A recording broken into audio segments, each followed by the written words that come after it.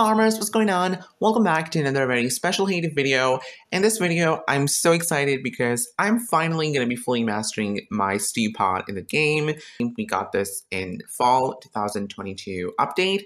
So I think I'm just going to get started. Let's harvest my crops. I've got some sugar canes and soybeans, and my farm pass goal has been completed, which is brilliant. Uh, let's see what do we get from here. I'm getting a tape and a saw. That's cool.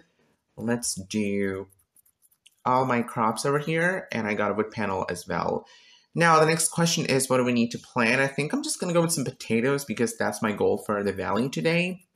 Yep, there we go with the potatoes and I'll just go with some pineapples because I've been making a lot of, uh, that's the tropical cupcake, which requires a lot of the pineapples. So um, here's my stew pot. As you guys can see, I have two stars on this. You know what? Let me just bring this machine at a place where there's um, nothing else because this is just going to be our main topic. So, okay, there we go. So I run it for 16, 29 hours. Just need to run this for another one hour and that's going to happen in 2 minutes and 48 seconds. The time's moving, my heart's beating really fast. I'm super excited. I personally love the design of this machine. When this was first added, I think this was very antique very natural and this gave me a lot of farm vibes because this machine is not modern. It looks like it's from 50s or even 60s and that's the fact that I love a lot about it. I also love the little details. Uh, the woods are burning at the bottom and then we have that steam being cooked. So I just love the design of this machine and the color is amazing too. That blue color with those stones, I think this was brilliant. So this machine took me almost, uh, let's see, it was added in September. I'm going to say October because I got it in October. So I'm fully mastering this after three to four months, which is a very default time. Everyone will take this amount of time to actually fully master any machine if you run this constantly. And this machine was not hard to fully master. The products were very easy to make. You can see the chickpea stew, chili, and the winter. They were really simple to make. All you need is just a bunch of vegetables. So that was not a hard point, and I love fully mastering my machines. You guys remember the last two machines were literally the monsters. Um, the yogurt maker was so hard to fully master because you needed so much of the cream and then with the fudge shop, you need a lot of butter. And dairy products are very crucial and they're just very hard to come by in the game. So this was one of the biggest challenges for me to fully master these machines. Uh, but this one was really simple. And another issue that I have currently is I'm trying to fully master my cupcake maker, which is going to take me another, I think, three months, maybe four.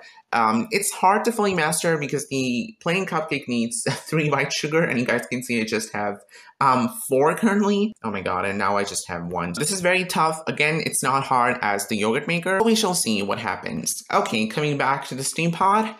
30 seconds left. Let's do a little countdown, shall we? I don't think I'm gonna do that. I don't have the power to do it right now. Um, I can just uh, send some trucks because today we're having the truck event in the game uh, which is good.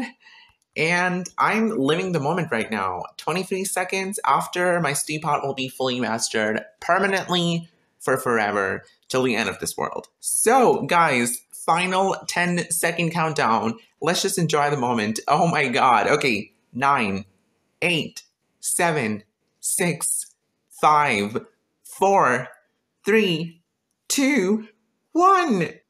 Here we go. Oh my god. Congratulations, all Steam Podcasts are now produced faster. This was brilliant, you guys. This was my first time actually seeing a mastery live. Like, usually I come back in the game and then it's already been fully mastered, but this was my first time actually seeing the countdown at the time. So this was really cool. Um, but have a look at this, guys. I'm so happy. Yay, and look at the design. Oh my god, it looks so cool. I love it, guys. Some parts of the machine have been converted to sort of yellow and golden color. This is so pretty. Let's have a look at it. Okay, fully mastered. I love, love, love when this happens. Um, and when you get the third star, it means the products will be produced 15% faster. So my chickpea stew will be produced in 1 hour and 16 minutes. My chili stew will be ready in 1 hour and 42 minutes. And my winter stew will be ready in almost two hours. So this is one benefit that you get out of this, but honestly, I don't care about it. I just love the design of the machines when they're fully mastered. I love when they get a star on that. It means that you worked hard on your farm and then you've actually run the machine. So that's the fact that I love about fully mastering the machines. And I think now this machine will be over here. I had it close to my farmhouse so that anytime I log in the game, I can run this because usually I forget to run my machines. Uh, but when I'm trying to fully master a certain machine, I make sure to keep it running all the time. Like currently, I'm doing the cupcake maker, and this is my next goal. Hopefully, I'll be able to fully master this before the spring update, which is going to be probably in March or April. I'm not sure. Uh, maybe we're going to get another machine. I can't say anything, but let's see what happens. I'm so happy for this teapot. I've done this, you guys. It just looks so pretty. And I won't be kidding when I say that this is probably my favorite machine when it gets fully mastered. I love the combination of that blue, sort of purple and golden color. It just looks so beautiful. I also really like the yogurt maker when it got fully mastered. So all the recent machines that Hay Day brought, they look amazing once they get fully mastered, except the cupcake maker. It just doesn't look so good, but I mean, it's still a very cute machine.